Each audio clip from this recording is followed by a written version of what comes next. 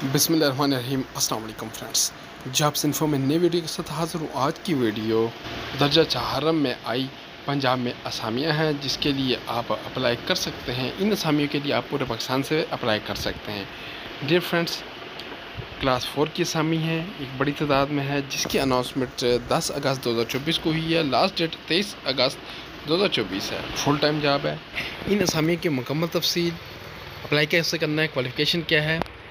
اس video میں ہم آپ کو بتائیں گے۔ اس سے پہلے اگر جو چینل کو سبسکرائب نہیں کیا ہوا تو چینل کو ابھی سبسکرائب کریں اور ساتھ بال کے بٹن کو پریس کریں تاکہ مزید آپ کے نوٹیفکیشن آپ تک پہنچتے رہیں۔ ڈیئر فرینڈس ان اسامیوں میں مالی، ہیڈ مالی electrician sanitary worker driver carpenter security guard چوکیدار اور آیا کی اسامیاں خالی ہیں۔ ایڈورٹائزمنٹ آپ کے یہ سامنے ہے۔ آپ اس پہ دیکھ سکتے ہیں آپ کی ایئر یونیورسٹی ملتان کیمپس کے لیے۔ ایئر یونیورسٹی کو اپنے کیمپس چک نمبر پانچ، فیض بہاول پور روڈ کے لیے مدعی ذیل اسامیوں کے لیے، تقریریوں کے لیے تجربہ کار افراد سے درخواستیں مطلوب ہیں۔ اس میں پہلی اسامی ہے مالی کے لیے کوالیفکیشن مڈل ایک سے دو سال کا تجربہ۔ ہیڈ مالی کے لیے مڈل میٹرک پانچ سال کا تجربہ۔ الیکٹریشین کے لیے مڈل میٹرک تین سے چار سال کا تجربہ۔ سینٹر ورکر کے لیے مڈل دو سے تین سال کا تجربہ۔ آفس بائی کے لیے میٹرک تین سے پانچ سال کا تجربہ، ڈرائیور کے لیے میٹرک تین سے پانچ سال کا تجربہ۔ کارپینٹر کے لیے مڈل میٹرک دو سے چار سال کا تجربہ۔ سیکورٹی گارڈ میٹرک سابقہ کا فوجی، چوکیدار کے لیے میٹرک سابقہ کا فوجی۔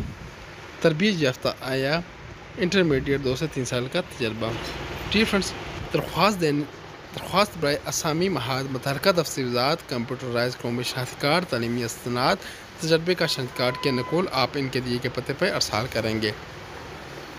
کاغذات کی جانچ پڑتال کے بعد صرف ابتدائی طور پر شارٹ ڈسٹرکٹ امیدواروں کو انٹرویو کے لیے بلایا جائے گا۔ درخواست جمع کروانے کی آخری تاریخ تیئیس اگست دو ہزار چوبیس ہے۔ مقررہ تاریخ کے بعد موصول ہونے والی درخواستیں زیر غور نہیں لائی جائیں گی۔ اپنی درخواست میں زیر پتے پہ ارسال کریں۔ H R department, air university, Multan campus, چک نمبر پانچ، فیض Bahawalpur road, Multan. Dear friends اس موقع کو ضرور اویل کریں۔ ایک اچھی اپرچونٹی ہے، ایک اچھا پیکج دیا جائے گا، آپ اس میں آسانی کے ساتھ ہو سکیں گے۔